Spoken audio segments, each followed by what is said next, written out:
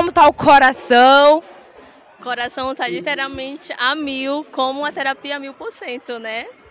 Como foi que nasceu o fã-clube do Henry?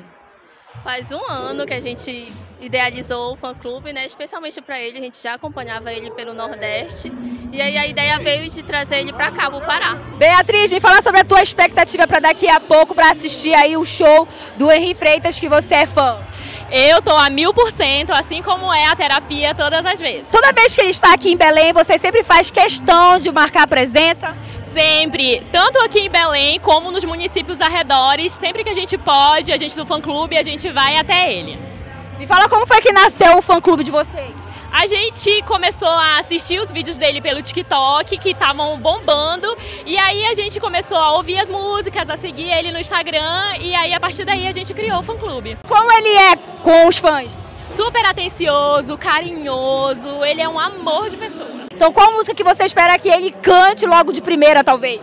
Pra hoje, Maluca e Novinha Bandida são as minhas favoritas.